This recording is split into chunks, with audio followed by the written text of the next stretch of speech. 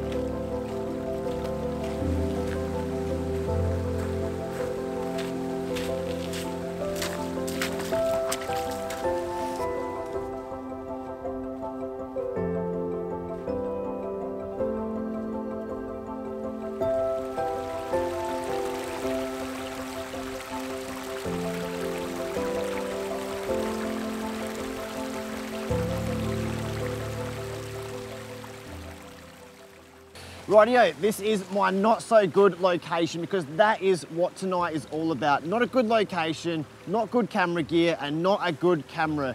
Focusing on the composition and capturing images with a crappy camera.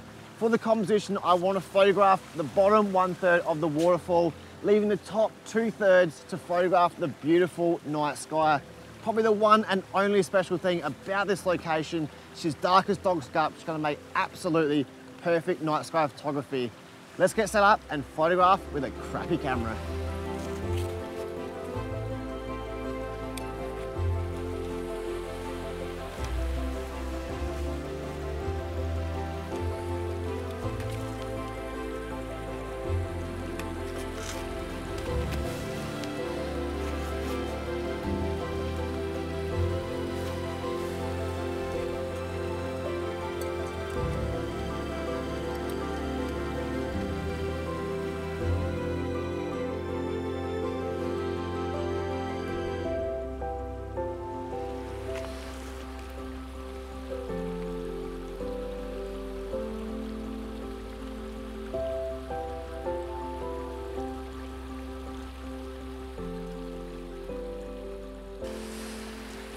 All set up and she's barely standing there. Guys, this is a crappy setup, but I want to prove to you that you can photograph the night sky with a gear that you already own. This is a Neewer light stand, costing about 40 bucks, brand new. A little tiny Neewer bullhead, which is worth about 30 bucks. I had to put the XT3 L bracket to connect the Arca Swiss onto that. So that's completely free. You've already got that at home. And the Canon G5X, But the Mark II, the Mark 1s. You probably can't even buy these bad boys. Entire setup, less than 400 bucks. That's how cheap it is, and we're going to get results that are worthy of a social media like thumbs up. So that's what we're aiming for today. Now I want to simplify the photography and break it down into the easiest way for night sky photography. The two elements, the foreground, which is a little bit harder, so we'll get into that a little bit later, but first of all, I want to go through and photograph the night sky. When photographing the night sky, can you bloody believe it? Capturing the stars is actually the easy point. First of all, we want to go through and obviously turn our camera on. This is a one inch sensor, so we are going to suffer from noise from our ISO. So I want to start off with my ISO and go all the way up to 6,400. Now we've got our ISO locked in. This is pretty much what I do with my XT1, my XT3, and this camera. So I suggest that would be your starting point also. Next thing we want to go through and do is get our aperture. Now this is a great 1.8 aperture, so I'm going to lock it in to 1.8. Now our shutter speed. This is where we want to get a lovely thing called PhotoPills out, and I want to understand this is a 24 mil equivalent. So I want to go through now and basically go into PhotoPills go all the way down to spot stars and I want to change it to 24 millimeters. And once we change 24, we're going to get 21 seconds for the 500 rule and 12.55 seconds for the NPF. So I to reckon that 15 to 20 seconds. Now because this is a one inch sensor. I'm gonna crank it out to the 20 seconds because I wanna capture as much information as I possibly can. So now we've got ISO at 6400, we've got our aperture at maximum 1.8, and last of all, we just put out our shutter speed at 20 seconds. What I'm gonna go through now is capture 15 images in camera.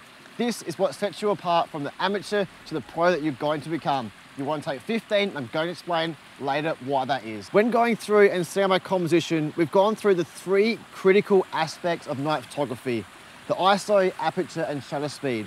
Now there's two more fundamentals that are absolutely critical. One is to shoot in RAW if we can. RAW will give us more information post-production and that is vital when shooting night photography.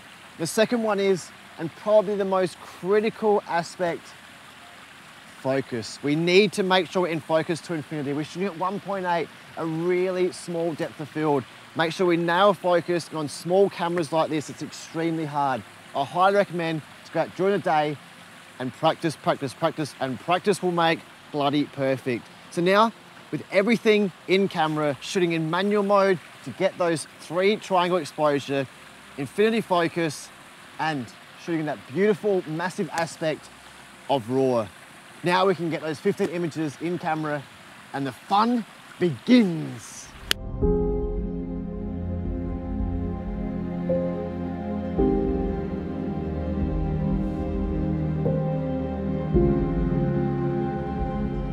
Okay, 12 images done and dusted for the night sky. Now, if there's one pro tip I can give you guys, it's make sure to put a two second timer on before taking every image.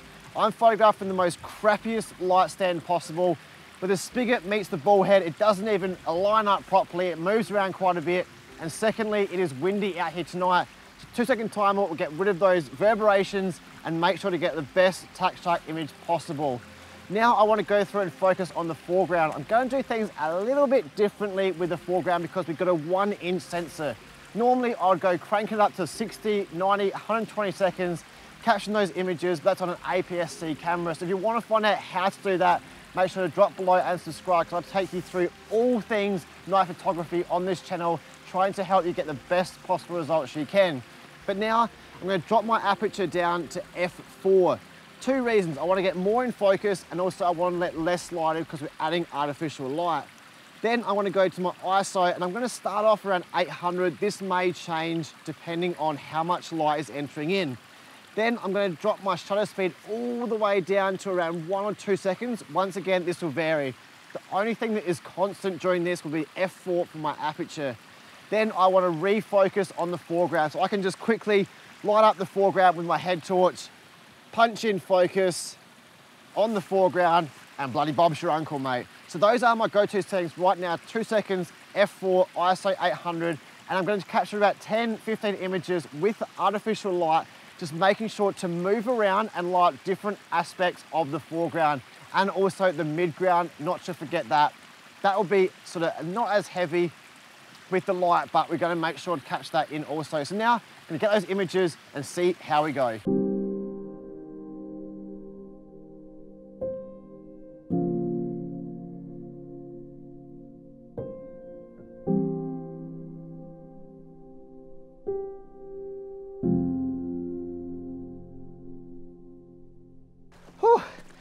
Actually gives me the puffs, works me out a little bit. I don't know about you, but I actually quite enjoy running around like a mad chook, lighting up the foreground, gives my daily boost of exercise and warms me up on a pretty fresh, cold night out here in the valley, in the mountains. So pretty bloody cool. But we're only 50% of the way through. We've got our foreground images, 13 images, lit up, 12 images of the night sky that we have to blend together to reduce that noise. But I'm not going to do that on this vlog. I'm going to save it for my membership course for all my paid members We'll be learning how to blend those images together. There'll be a link in the description for that to learn everything night photography and photography related. But now I'm gonna leave it up to the bloody beautiful post-production to get a one resulting image to blend all those images together to get this image captured right here with a crappy setup from tonight. Enjoy.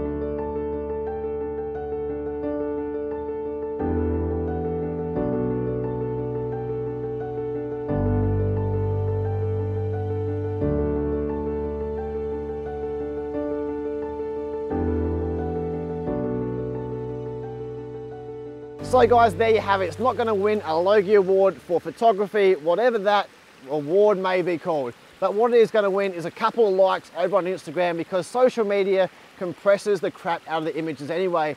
Probably 95% of the people that like that won't even recognize what camera it's taken with. They probably still think I'm taking with the Fujifilm X-T1 that I take all my night sky photography images with because they won't even know and they won't even care. It's amazing, when you learn how to do something and you get out and take those images, you might actually bloody surprise yourself. So get out there with the camera gear that you've already got and learn the craft. You might actually surprise yourself. There's the image for tonight. And guys, over on my membership course, the ones that are signed up, I will take you through A, B, and C, how to blend all those images together to get the resulting image that I got from tonight. So thank you for all those membership people that are keeping my dream alive. But guys, make sure to head over onto my Instagram and give it a like. And if you do get out there with a camera gear that you've already got and take an image like tonight, make sure to tag me at Matthew Storer Photography on all the socials because I want to see what this vlog tonight has inspired you beautiful people to get out there and capture. But guys, that is me done for tonight. Make sure to subscribe and get out there, keep bloody creating, keep inspiring people like me, people like you, and I'll see you on the next one. Ciao!